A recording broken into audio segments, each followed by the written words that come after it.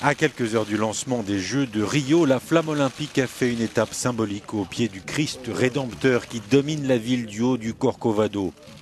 L'ancienne joueuse de volleyball et médaillée olympique Isabelle Barroso Salgado a porté la torche et était accompagnée de l'archevêque Orani Tempesta et du maire de Rio, Eduardo Paes. Après l'attentat de Nice du 14 juillet, le Brésil semble avoir pris la mesure des risques terroristes et a renforcé sensiblement les mesures de sécurité en déployant 88 000 militaires et policiers à partir de ce vendredi. Ils ont bien pris soin de la sécurité, dit cet homme. Ils ont fait des prévisions et je crois que ça va fonctionner. Je crois qu'ils ont fait beaucoup d'efforts. Il y a beaucoup d'hommes en uniforme qui sont issus de différents corps d'armée. Mais je ne sais pas vraiment quand tout va commencer.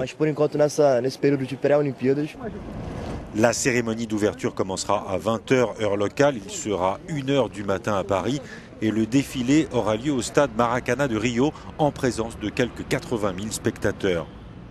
207 délégations vont défiler ce soir dans le stade de Maracana alors que le Brésil accueille pour ces Jeux olympiques un demi-million de touristes.